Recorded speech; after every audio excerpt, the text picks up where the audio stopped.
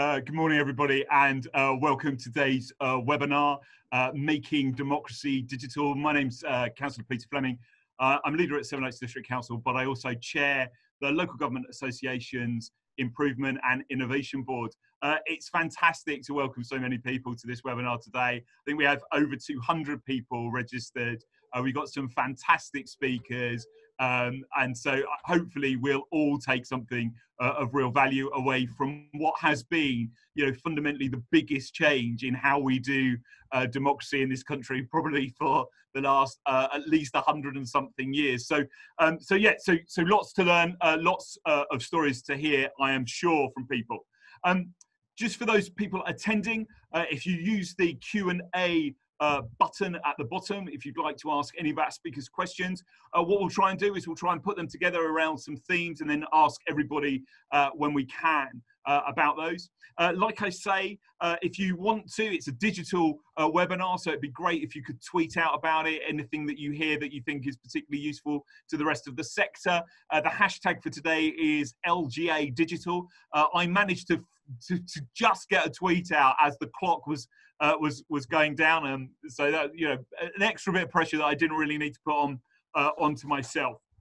Um, so the first two speakers today um, are both officers. Um, uh, the first is Brian Reed, who's head of Dem Democratic Services at uh, Cheshire East Council, and uh, Karen Strahan, head of Democratic Services at Devon uh, County Council. Uh, they're just going to talk about uh, their experiences. Uh, I mean, Devon's huge uh, county, uh, so I'm sure that there's been some interesting stories to tell around that. and I know that Brian will also have some interesting stories to tell. So I'm going to hand over to them without further ado, and I'll invite Brian to speak first. Brian. Thank you, Chair, and um, uh, thank you also to the colleagues that have joined us today from across the country. Uh, welcome from the wonderful borough of Cheshire East. Lovely sunny day here in Sandbach. Uh, Chair, I think it's right to say that had I been asked in normal times to deliver a project for virtual council meetings, I'd have willingly taken that on. Uh, but I've probably said to my boss that it would take 12 months. But of course, uh, there was nothing stopping that rapidly advancing virus, was there? And of course, we too, as local government practitioners, had to respond uh, rapidly to uh, uh deliver the priority demands of delivering democracy. Uh, we recognise, Chair, that from the earliest times, at the end of March, there were certain meetings that perhaps didn't need to take place. So we liaised quite closely with leading politicians, stakeholders, key officers, members of the public in order to understand what was absolutely necessary in those very early stages. And we re reached a remarkable measure of agreement amongst all concerned that there were certain meetings which could be postponed. And that was the cooperation that we got. Of course, that bought us a little time in terms of increased confidence amongst officers and members. And we were therefore happily able to agree that with effect from the beginning of May, we were able to deliver that full schedule of council meetings. I would say one of the critical success factors, Chair, was teamwork. Teamwork between members and officers, I think, in Cheshire East was brilliant.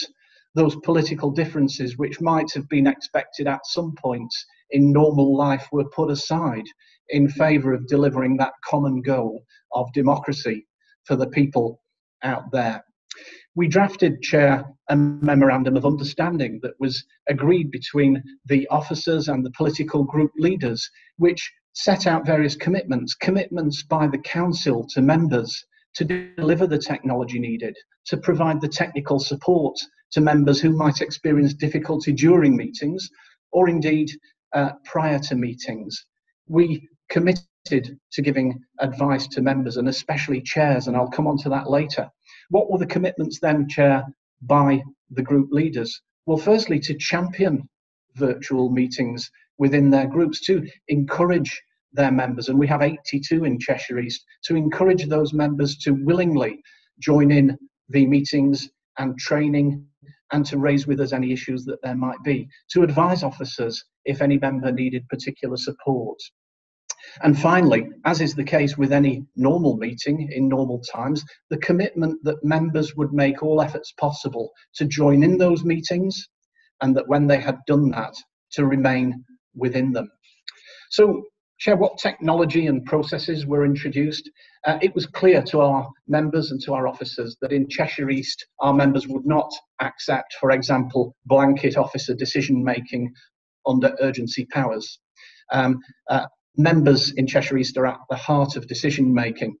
And so we accelerated a program that had just started to deliver the technology needed to deliver virtual meetings. 116 members and officers needed rapid provision of new laptops, Office 365, Windows 10, etc. And by agreement with the leadership and key officers, we uh, agreed to all of that happening. We even called, Chair, upon the good efforts of our mayoral attendants to make sure that this kit was safely delivered out across the borough to everyone that needed it. I think, Chair, we must say that critical to the success of this was the officer support. We found ourselves in a position where, as previously, committee's chair had to have one committee clerk to do all of the business. Now we were in a position where we maybe needed to triple that support with the committee clerk, producer number one, uh, organising the meeting that needed all of those individuals entitled to speak, members of the public, officers, visiting uh, members, and anyone else who had to speak were in one meeting, whilst another meeting was organised for those individuals who just wanted to observe the proceedings. And that had the benefit of avoiding any inadvertent disruption to meetings and that worked really well. I think, Chair, one of the final comments I'd make on technology is that Cheshire East Borough has the benefit of Jodrell Bank, uh, the SKA project, which is delivering the world's largest radio telescope to Cheshire East. Um, and of course, we're talking to our colleagues there that have got brilliant technology, the best internet that you can imagine, and the suitable uh, social distancing space to run a council meeting when that becomes uh, able uh, to be delivered. In terms of recommendations to audiences, Chair, I think training, training, and more training is there. We've organised a whole host of training. It started with our regular welfare checks for all of our 82 members, calling them up to see how they were during the crisis, certainly during the first part, but asking them that question do you need help? Do you need support? We also uh, arranged a, a series of different training events chair with trainings for the political groups so that members felt comfortable within their own environment, one to one training, ad hoc training for different groups of members, but also training and rehearsals chair for each decision making body so that there was at least a session a few days before those first initial meetings and then a rehearsal immediately before the meeting in question we took advice from the group whips to make sure that we were covering everyone that needed that support. And so, Chair, even in the first few weeks of this, we had over 30 training sessions, and those are still available if needed. Scripting of chairs was essential, not because the chairs can't do the job, they're brilliant, but actually just to keep the meeting on track with the added difficulties and complications of teams. I think the final thing I would say, we're asked the question, what would you have said to yourself back in March? And I did speculate whether I should say perhaps retire. Um, but I think the reality is, I would have said to myself, we can actually do this. We're Cheshire East, we can do it. And we've come out the other end confident and we've demonstrated that we've done it, Chair. Uh, Brian, uh, thank, thank you so much uh, for that. And, and um, all I would add to your training, training, training is practice, practice, practice. Because um, actually, that that I, I think we found as as as important. Um, Karen, uh, over to you for your experience uh, down in down in Devon. Uh, thank you, and thank you very much for having me here today. Um, it's a real honour to be asked. Um, I'll keep this fairly high level, as obviously in seven and a half minutes, and hopefully some of the detail um, or questions that people have will come out through that. I guess my initial thought was, oh heck, what can we do with no meetings? Um, and initially, we did a quick, quick and dirty review of the constitution, delegations, um, urgency powers, and my initial thought was, no, this really isn't in the spirit of democracy. You know, power invested in one or two people is not the way we should be, be doing things. It's not the way Devon works. Um, whilst the leader joked that he was very keen on that, um, it, it was said in jest. Um, we obviously had the regs um, in early early April, and we actually had a cabinet meeting scheduled for the 8th of April. So, in many ways, we took a big flyer in terms of promoting a virtual meeting and publishing the agenda to that effect. So, really, what ens- ensued was a very busy weekend in looking at the regs, assessing them, a bit of a sleepless night, and thinking, actually, what have I done? Surely I should have waited until the June cabinet to look at all this. Um, the first meeting really um, felt quite scary and um, it actually felt very different. There, there is something really, really strange about being sat in your kitchen in a work suit, makeup, and even lipstick um, to run that meeting so you feel as professional as possible in running it. So kind of roll on to the Monday, and then there was obviously several practice runs with initially just members of that cabinet um, to get as much practice done as we possibly could, given this was so so new. I think really we had no choice but to adapt, and I think we still are in many ways. We're constantly learning, we're wanting to make meetings better and be the best experience that they possibly can on that remote basis.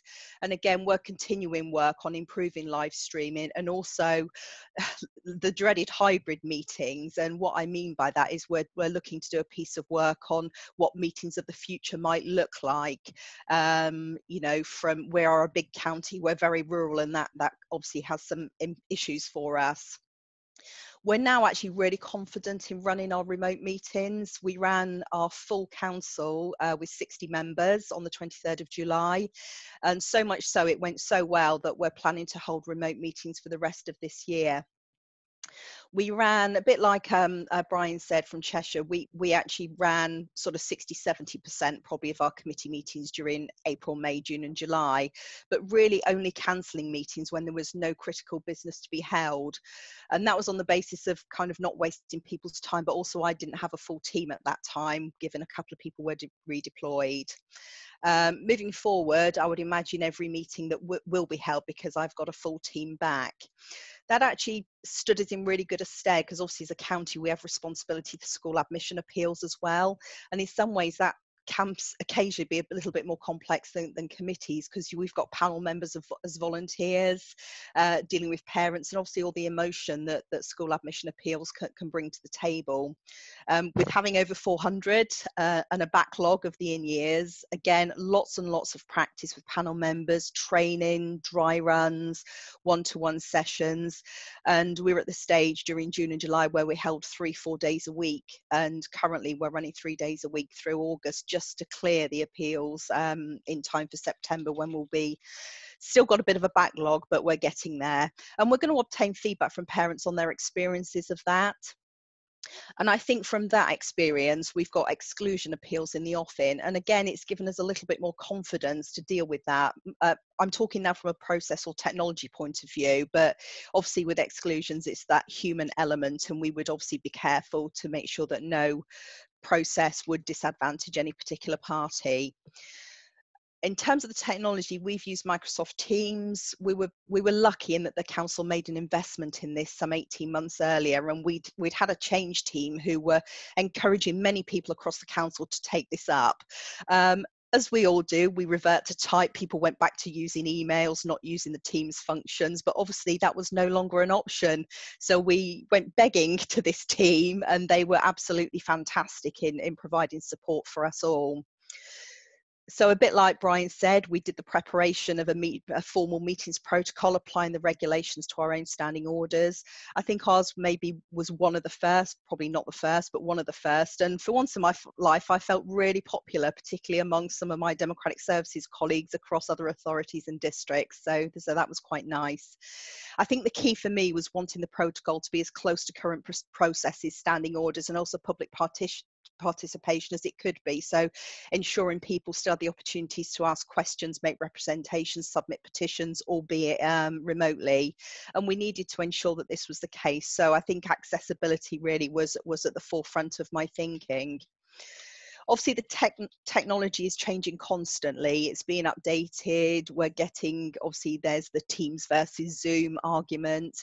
And obviously teams is coming out with new functionality all the time. And, and for me i'm particularly looking forward to voting functionality on some of these systems. So no more roll calls for me um, which obviously take quite a long time Moving on to the tips, I think be absolutely clear on your processes, and that's for people managing the meeting, clerks, DSOs, and chairs. How do you want to run your meeting? Do you want to use hands up? Do you want to use chat functions? Do you want to use voting? Be absolutely clear at that at the start of the meeting.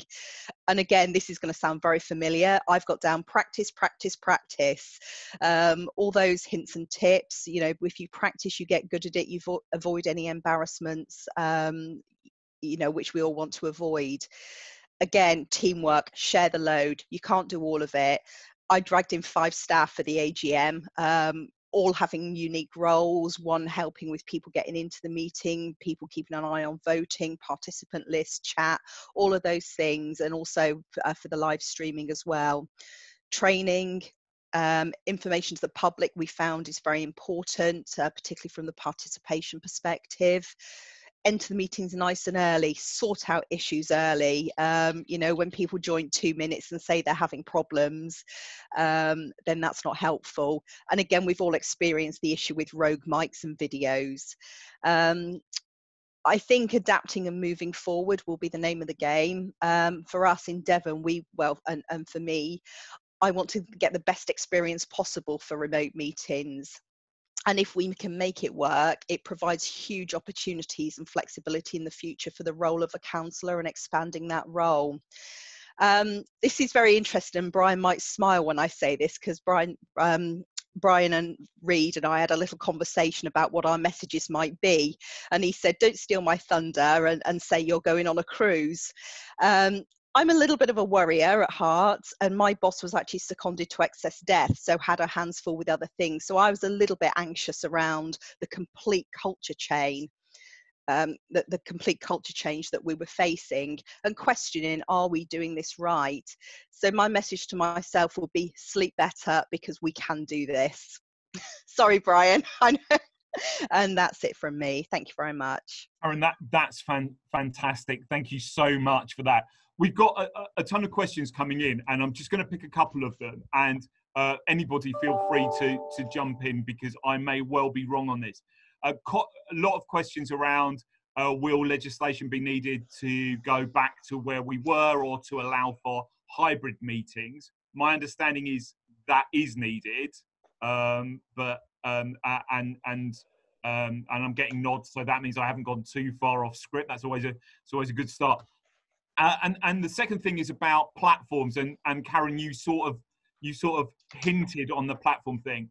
What I would do is I would do a massive plug for the um, LGA remote meeting hub um, which you literally can just google LGA remote meeting hub. It's got all of the platforms the pros and cons um, uh, it's it, I always I always have a wry smile when I see questions that are framed um, our officers say that we can't use X or Y platform, um, which kind of says to me that they probably prefer a, a platform um, over another one. But it may be to do with the technology that that, that your council uses, uh, or, or for other for other particular reasons. Um, but the LGA remote meeting hub has got huge amount of uh, learning. Uh, examples and it literally goes through every one of the platforms and talks about the pros and cons uh, of each of them. So um, uh, that's where I would I would definitely go uh, for that. Um, Karen and Brian, we're going to come back to you uh, a bit later, uh, but thank you so much for now. And now um, I'm really pleased uh, to introduce Nadira, Charlotte, and John. Nadira is Director of Leadership and Development and Research. let's not forget that as well at Socitm. Uh, Charlotte, uh, we used to work together, uh, which uh, was really nice, and it's lovely to see you. He's head of member services at NALC, which is the National Association of Local Councils, looks after town and parish councils, like 10 and a half thousand of them. Is it? Yeah. Um, that's quite a few members. Um, and, um, and finally, John Austin, who's chair of the Association of Democratic Services Officers. Um, so uh, I'm going to go to Nadira first. So, uh, Nadira, welcome and thank you so much for taking time out today. Lovely, great to be here, um, Chair. So I guess my, my first question to you is, um, looking at your members as a, as a, as a wider group, how do you think that they've uh, adapted to those new ways of, of working? So, first of all, um, delighted to be a part of the discussion this morning. Um, and really just building on some of the points that have been said this morning, Chair. So first of all, um, Charlotte and John are to follow, um, but I'd like to really emphasise the um, opportunity of working in collaboration with the LGA in, and with our um, counter organisations to ensure a collaborative, joined up response has been given across the board such that um, we've been very unanimous in, in our messaging, how we wanted to approach the outcomes of the way in which we've been working together. Um, and you mentioned the LGA Resource Hub, indeed a very, very uh, useful and helpful asset and resource for, for individuals having the opportunity to, to come together to sh share the learning from the work that we've done collectively. So that's been um, fabulous. Um, some of the discussions about the, the technology, the platforms, the culture, the changes have already been mentioned, Chair. So, you know, our initial response, as, as Karen and Brian both highlighted, it was very much how do we bring some order to this chaos? How do we get a better understanding of what the requirements are?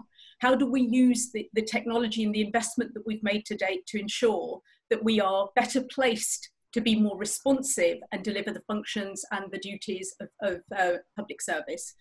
So our members, um, the, the, first couple of weeks and months, it was very much a flurry of anxiety, stress, activity, and looking to, to us to give them some steer and guidance, um, both from a, an operational perspective, so very much how do we capitalize on, on the, the ways of working and digital skills, literacy, um, access to the technology platforms, etc.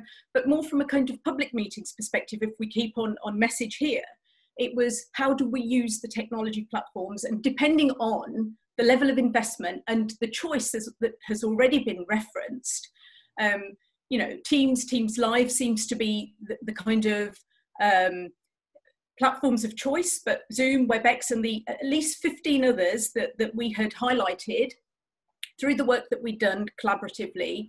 Um, and depending on where people were on their kind of journey and maturity of the use of the platforms, you know, the kind of direction of travel, the, the need to speed up the investment in terms of deployment, training, skills has been very much at the, the forefront of the way in which our members have, have requested um, some guidance and insight.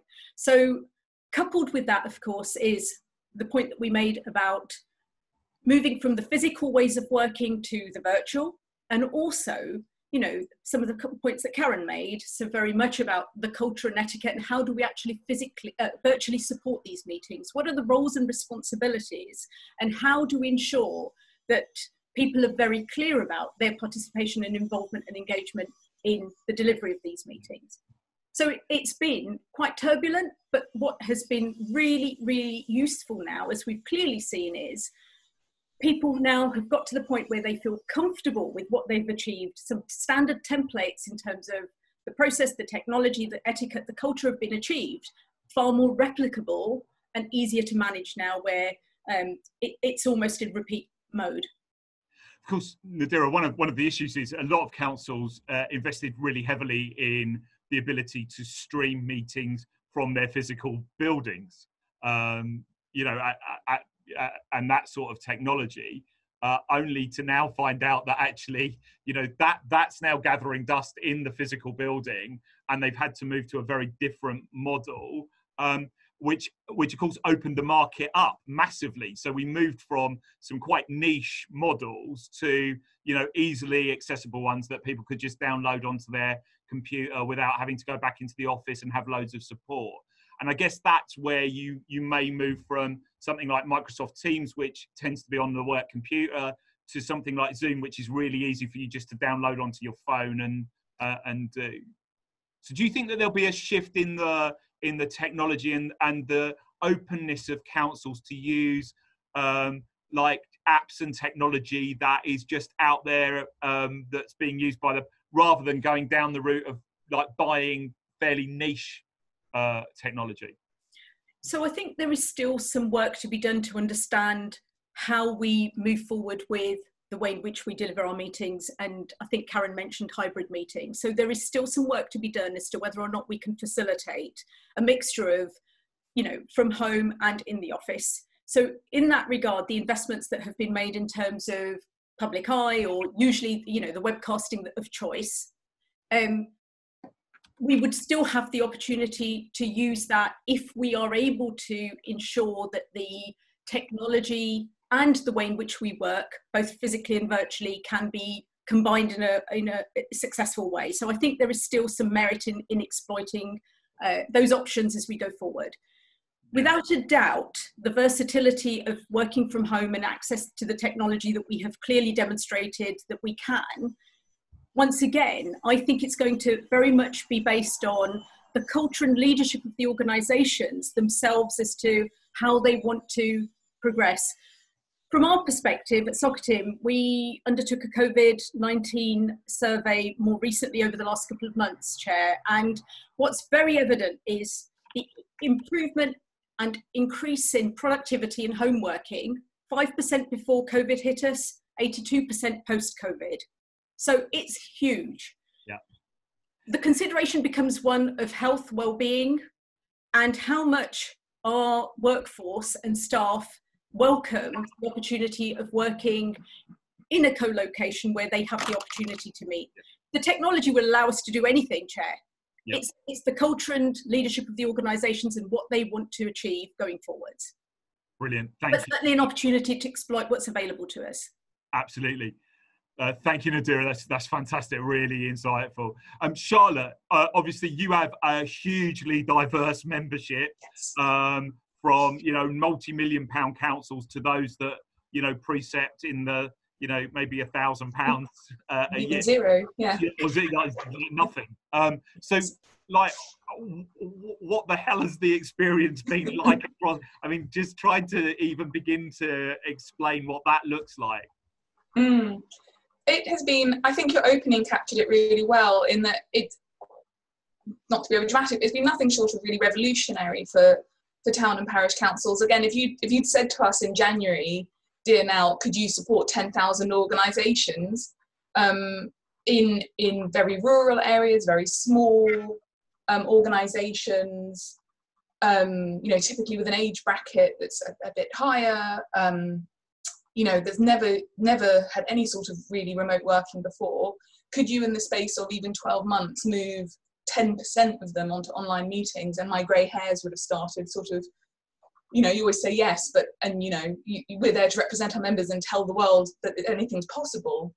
But but then what we saw has completely i you know completely changed my perception of the sector and what we're capable of. And it's been i think one of the biggest shifts for town and parish councils in, in modern times. So when the meeting uh, regulations came in, I think they came in over a weekend, and by Tuesday, parishes were tweeting about their first online meetings, and um, and it just blew my mind. We're getting data in now. It's a bit we don't have national data yet, but from the count some counties that have surveyed their towns and parishes, we're talking about maybe 90% plus take up of remote meetings.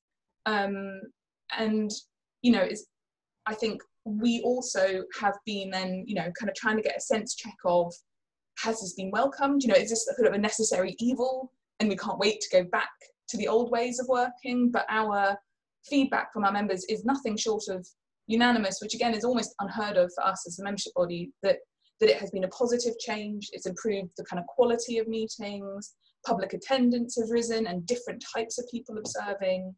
And then looking ahead to the May elections, and I you know, don't want to preempt what would happen with with um, legislation, but looking ahead to the May elections, where we're due to have an extraordinary number of elections come May, um, to be able to reach out to a really different group of people and say to them, you might have an image in your mind of the parish council, um, but actually it might be very different from what you're expecting, and you might be able to engage in a way you weren't expecting before.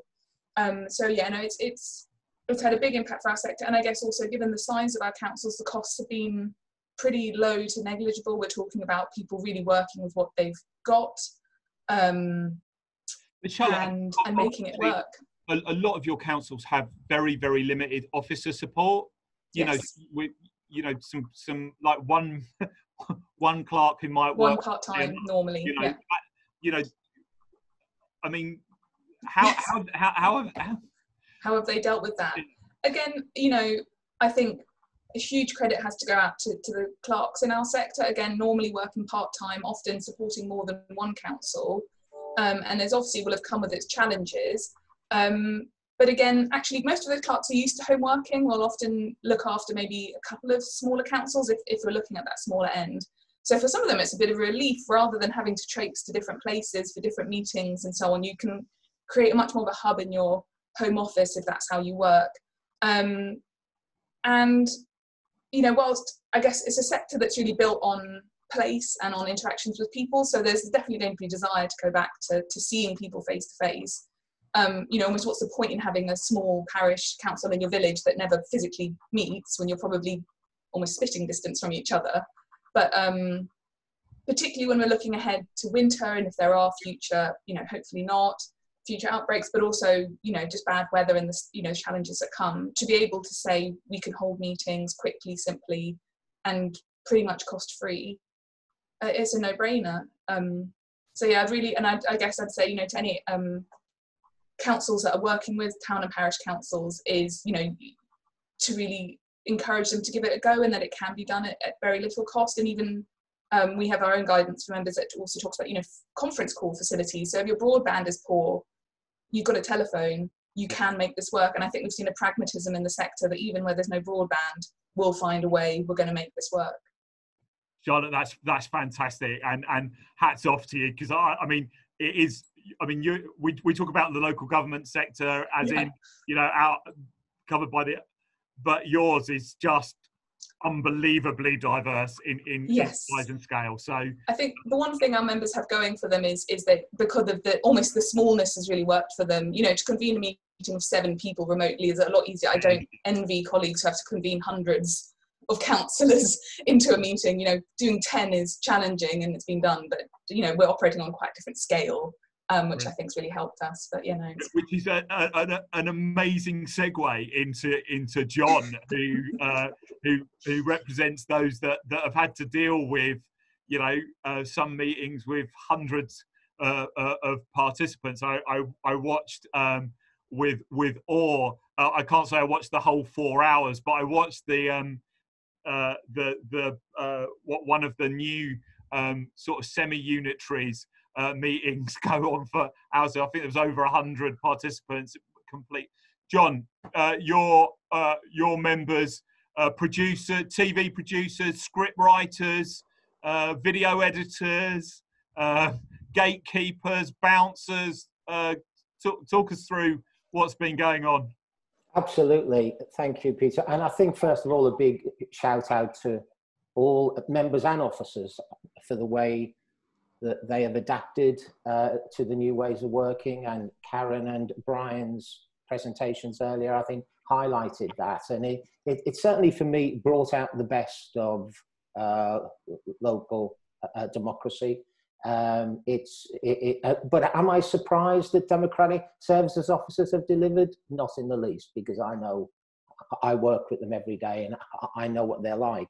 Um, they they have um, really, really supported um, members uh, in terms of all of the things that we've heard before training, practicing, rehearsals, support with the technology, and fulfilled, Peter, all of the roles that you, that you have outlined. And the important thing for me through all of this is that the integrity of, of the governance processes within local authorities has been maintained. And in some cases, it's actually been improved. Um, and th- that's been uppermost in, in, the minds I know of, of every single uh, every single democratic services officer that I've spoken to, and I know it's been uppermost in the minds of a lot of members. Um, and I think there are been, uh, there have been some fantastic examples of members and officers ensuring that public access has been protected as much as sort of possible. I think it was Karen earlier was talking about education appeals. And you know the efforts that that both members and officers made to ensure that parents who were going through quite uh, stressful times anyway were made to feel as sort of comfortable and were uh, felt it, it was to be as inclusive as as they could make it. And uh, many many democratic service officers that I've spoken to who have been through that process have said they've had very positive feedback from parents in, in terms of the efforts that have been made. Um, I think uh, the, uh, another thing that has really uh, jumped out at me is, uh, and I think Brian referred to uh, uh, the efforts and also working as a as a team, um, and the the the way the councils have achieved so much so quickly has been down to that teamwork and has been down to that uh, sort of working together between officers from all disciplines within the council and also the members. So, absolutely not surprised, very proud of everybody, every single Democratic Services officer and member. And I think, to be honest, um, it, it would only have been local government that could have achieved so much so well and in such a short space of time. So, John, I'm, I'm, I'm, going to ask you a question, and, and it comes with an explanation. Otherwise, no one will know what we're talking about. But um, in, in, terms of in terms of going forward, um, clearly uh, there's a lot of talk about a hybrid approach, potentially hybrid meaning, uh, you know, some people physically there, some people virtually there, um, or a blended approach, which would see some meetings fully online and some meetings fully in person. Um, where do you where do you think your your officers are around you know that next step? What what will come after where we are at the moment? Well, uh, we are already talking uh, with the LGA uh, uh, and, and, the other professional associations, and Nadira and Charlotte are included, about lobbying for a, a continuation of the ability to hold remote meetings post May of next year when the regulations expire. I think I think hybrid meetings, as as you've described them, people present, but also people re- remotely, are much more sort of complex. Uh, Nadira will understand the technology much more than I, but and they're certainly a lot more expensive in, in terms of the technology that you'll need. And I know some councils have looked at them and said, no, you know, they're, uh, uh, we're not, we're not in, interested.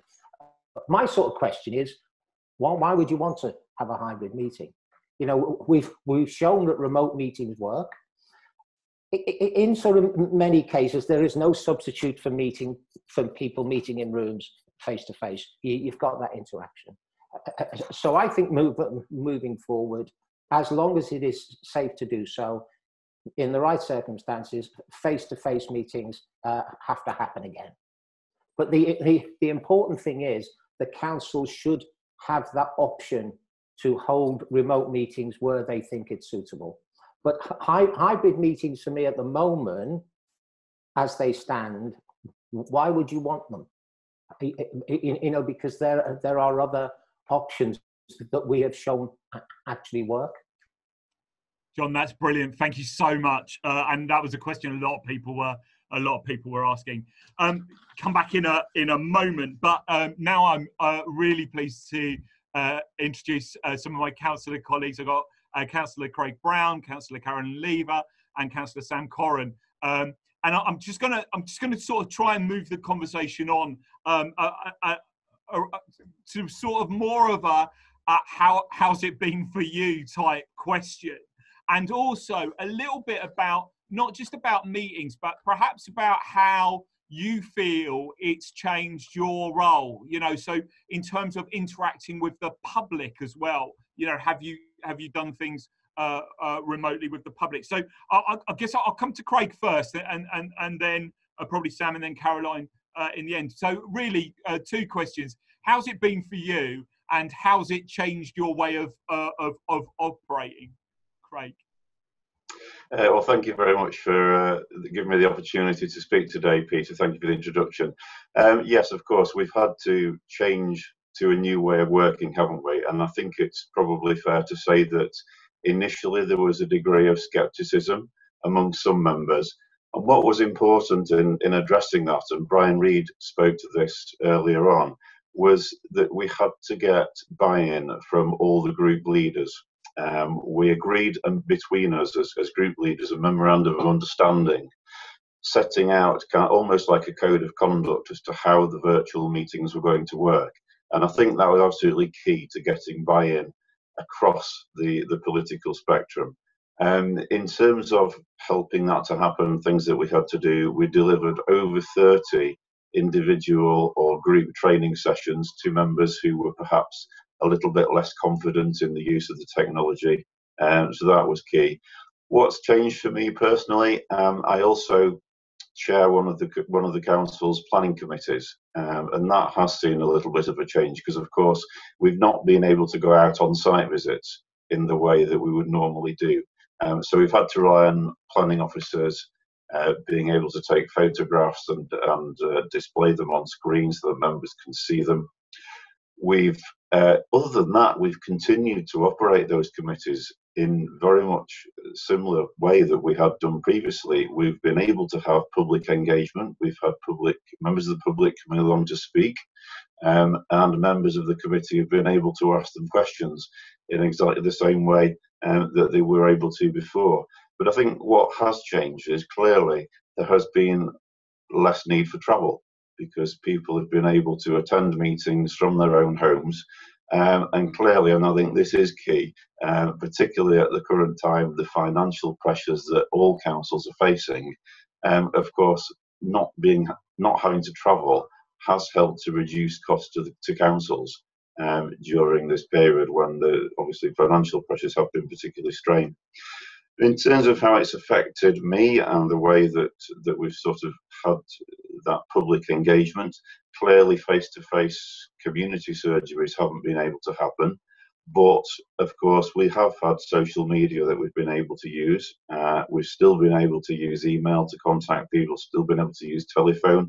Something that the leader and I um, have been doing throughout the pandemic is making video blogs uh, to keep people up to date with uh, what's happening with the pandemic, but also what's happening with council services. And as we've been thankfully gradually able to reintroduce council services, uh, we've been able to use video blogs to help get that message across. Um, and so also I would say that the, the online meetings have actually enhanced engagement, uh, both with members of the council, but also members of the public as well, because of course they've been able to attend from their own home rather than perhaps having to travel from one end of the borough to the other in order to attend a meeting. They've only had to travel from the kitchen to the lounge in order to do that. So I think that's been a real positive, um, and a real plus that uh, that we've seen. And in terms of just the final question as to whether blended uh, or, or continue with virtual, uh, I would say absolutely go fully virtual um, I think that it has contributed to the atmosphere in those meetings changing and being more positive. Um, I think possibly because members are not sat together in political groups. Uh, let's be honest, we all know there's an element of political grandstanding goes on. Uh, we've clearly not had that with virtual meetings because people are sat um, sat alone. And I think also, uh, and this is perhaps a message to myself, it's encouraged members to be more succinct as well in the virtual meetings, which has been uh, which has been a positive. Uh, so I'll finish in a second, but I just want to close by saying I hope that we will all lobby uh, for government legislation to be made permanent that at least gives councils going forwards after next May the opportunity, if they so wish, to continue with virtual meetings uh, where they feel it's appropriate. It should continue to be an option, um, and I hope we'll all lobby for that. Thank you. Great, thank you so much for that. Uh, Sam, over to you. Thank you. Uh, yes, if I could add on to what Craig was saying about the green credentials for this, Cheshire East covers a wide geographical area, so there's certainly a significant carbon saving in having remote meetings because people aren't, councillors aren't having to travel to the meeting. But there's a much bigger carbon saving from the mentality around it that our officers are now working from home. And if officers aren't having to travel to meetings, that's an even bigger carbon saving. Uh, in May, at our first remote cabinet meeting, we passed our environment strategy and carbon action plan, committing us to be carbon neutral as a council by 2025. So uh, it's a big ask, but I would put out the message don't be afraid to take big decisions at virtual meetings. I know Manchester have the phrase build back better. Well, I'd like to see build back greener as well. So there are advantages that can come out of this. In terms of the good points of the, um, the council meetings that are virtual, Craig mentioned um, people talking too long and more engagement. Well, you can get a lot more visiting councillors, a lot more people wanting to speak at the, all the meetings because it's so easy to get to. You do need to make sure that people are succinct. And one of the tips I would have is have an officer there to use the mute facility. So if somebody is exceeding their time limited, don't be afraid to say you've exceeded your time, that's it, and use the mute. We have an officer who does that. Uh, but also allow extra time, particularly when you're first setting up these meetings, because you will get more engagement, you will get more people there, and there'll be difficulties with the, with the technology. So allow people to speak initially, and then, but don't be afraid to use the mute facility if you think people are abusing it. Sam, John is. I mean, John literally moved forward in his seat as as you were telling him to give more power to his to his office. He's very happy. That's the happiest I've seen John all day. Uh, yeah, brilliant. Thank you for that, Sam. Uh, Caroline. Thank, thank you. Um, well, it, it's really fascinating to hear what everybody else's experiences are, and actually quite a lot of um, what Sam and Craig have mentioned, I was going to mention as well. So I also thank you for that, but I will bring a, perhaps an additional perspective which is um, I'm a district councillor in North Devon, which is very rural. So all the stuff about my goodness me, we can actually have meetings to talk about climate change without actually having to drive is fantastic. And I sincerely hope that, as Craig suggested, that we as um, as a sector lobby government to enable local government to continue having virtual meetings.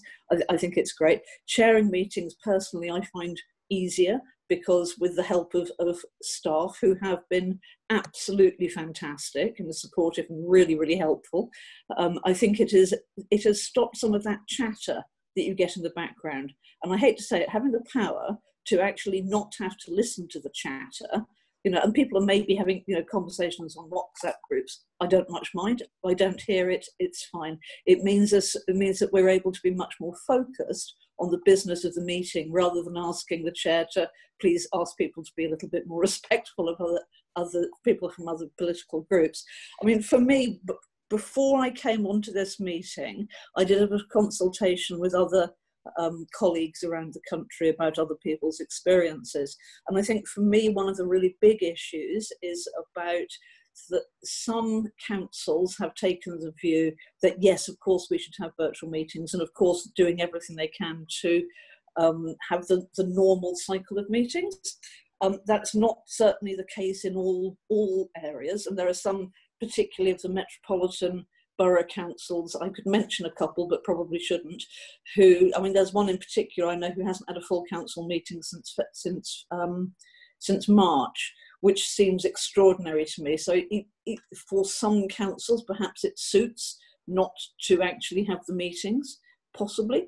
There's a political aspect to that. Um, I'd be happy to talk about that in more detail if people are interested, but I think maybe this is not the venue. Um, I think the other thing which I would say is that um, certainly in this neck of the woods, um, the broadband is questionable. Um, and it, it, it's interesting, it seems to be particularly for staff that they, I think, are quite limited in what they're allowed to use. So they're having to do everything through Teams. And actually, the, the platform should not be the discussion at all, but the practicality of them having a tool where we can actually communicate seems to be more difficult for staff than it is for councillors. Um, I think one of the the really excellent things that has happened has been absolutely, as others have said, that we have more people turning up to meetings that we have because they can, because it's easy. Um, but at the same time, the social media stuff, we've had um, there has been an outpouring, I would say, of um, extremely negative views about some proposals, particularly around cycle and, and pedestrian improvements, um, that have led to, you know, the anonymity of social media. That we've had some extremely unpleasant um, experiences, death threats, and so on and so forth. And it's not been restricted to any particular party. It's just you've got a view I don't like, awful. So I mean, I think that, but that's not so much to do with the council as to do with the um, the ability people have to to think that they can just say anything because they're on social media. For council meetings, we've not had that, and we've not had experience of being um, a meeting bombed or whatever like that. I, I would sincerely hope that we continue to have these meetings. Um, I think they're quicker, they're easier, but I am very, very aware for quite a lot of the residents in the area that I live in. They don't have computers you know, particularly the more elderly, but also those people on very, very low incomes. Actually, it's been quite a problem, and the and the difficulty with actually engaging with those people remains a concern for me. But that's not to say. Yeah. Caroline, I think that's a really interesting question, which I'll, I'll, I'll, widen out to the to the to wider to the wider group to, to ask. So I guess there there are two things about inclusion. Uh, one is around um, a question mark about whether uh, it will mean different people stand to be councillors and actually does it exclude or include more people than it than it than otherwise you know do some of our councillors actually struggle with this uh, the ones that we've currently got but does it actually then also uh, mean that more people might stand? And i guess the second thing is about the public. Um, you know uh, yes, it's really easy to engage if you just turn on the computer, um, but it may not be easy for everyone to engage in, in that way. And I, I guess my, my question uh, in our last 10 minutes, we've got probably three questions I want to ask, this being the first one around inclusion. Is this more inclusive, less inclusive, and do we have, to watch that inclusivity? So, uh, Sam, you're nodding. Uh, Brian, you're nodding. Um, so, Sam, and then Brian, and then, yeah. Yes, I think uh, I'm, I'm quite attracted to the idea of hybrid meetings to make sure that you include those people who aren't comfortable with the technology. The other way you might get around that is inviting those councillors who are nervous or don't have good broadband connection to come into a council office and then they can run the meeting as a virtual remote meeting, but they know that they've got the good broadband, they know they've got IT support if they need it. But one thing I've noticed is uh, councillors who have young children, it's much easier to get to a council meeting where you can be at your, you know, at a desk at home at the council meeting, and your children, they may just need, you know, half an eye on them. Uh, but also, there's much more acceptability now that you might have a child running around behind you while you're in a council meeting. And I remember two years ago, I think it was a, a New Zealand professor was giving a, a, talk, and a child came into the room, and it hit you know, international headlines. Well, now it's happening all the time, and we are we are welcoming you know, more councillors with young families, and I hope that will change. That will encourage more young councillors to get involved. And and pets, you know, dogs, cats, you know, all of those all of those things. Uh, Brian, and then Charlotte, and then I'll, I'll, I'll move on to the next question. But Brian. Uh, thanks, Jen. No pets in the office this morning, but um, I think we absolutely have to be mindful of those who don't have the means to join in via, uh, via tech technology. Uh, but I think I'm right in saying that the regulations, of course, say must be uh, um, able to hear and be heard, and therefore there are options, of course, around individuals ringing in. Uh, not ideal, but uh, does enable people to participate in that democratic process. Brilliant. And Charlotte, Great. I'd say again, if we're talking about scale with 100,000-ish town and parish councillors, the, the, inclusion question I think is the one that's really going to keep us animated if if these uh, regulations do continue, is how you ex, you know include as many people as possible whilst excluding as few as possible. And some of that will be about investment, some of that will be about mindset, and really, you know, that's a bit that might take more time and effort. I think what we've done very quickly today um, is is bringing remote meetings because we've had to, but to really make them inclusive and accessible and reap those benefits, that's going to be the the challenge. I think for us, the advice we've been giving our members is to expect hybrid meetings to probably be a standard part of life um, from now on, because even if you go back to to a pure one or the other remote face to face, you'll need to take account of of disabilities, equalities, and so on, and you might find it's not possible to ever take a purist approach. Um, but that that shouldn't cause you worry. That should get you excited that you're reaching out and supporting people in ways you haven't done before. Okay. So I'm, I'm going to ask I'm going to ask the big question, and, and all feel free to come in, which is uh, what what what does and Charlotte sort of teed it up nicely. What what what does what, what does that future look like? And I'm what I'm going to do is I'm, I'm probably going to go around the screen as I as I see you. But but, but John, what what what what what do you think that future looks like? Um, definitely, I think remote meetings are here to stay. Um, we will be lobbying uh, government as strongly as we can, and I know the LGA have, have, agreed to do that. We will be supporting them, and as I said, having that option later on. Um, Brian and Karen mentioned the increased resources that are needed to run these meetings. Now, many councils, as we heard from Brian, have been running on a reduced number of meetings. Yeah, it's only the essential meetings in, in the main have, have been held. If and when we get to a situation where we're back to as much of a normal workload, a pre-lockdown workload um, as we as we can, um, there's going to be even more challenges in actually resourcing those meetings. Um, we've we've heard from Brian three officers needed rather than one. So I think we need to hopefully, uh, ho hopefully the technology will improve, which will help in that. But I, I really think we need to be aware of the real challenges in, in terms of just supporting these meetings going forward once we get back to some sort of normal workload. Brilliant. Thanks, John. Uh, Nadira, what, what, your, your one big takeaway? Oh, you're muted. Sorry. Um, so we've proved we can do this. We've heard numerous success stories this morning. I think we now need to embed, reinforce, and build. We've clearly identified that there are some caveats, whether that's infrastructure investment, whether that is um, ensuring that the, uh, the, the point about inclusivity is taken care of, but the benefits from our perspective and our members' perspective far outweigh, you know, some of the limited disbenefits that perhaps we've identified.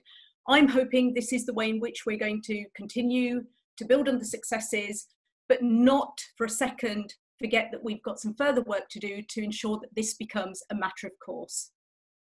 Real. Thanks, Nadira. Uh, Charlotte, your takeaway? looking looking to the future, as, as a tier of local government, town and parish councils, we're growing faster than we've ever done before, modernising faster than we've ever done before.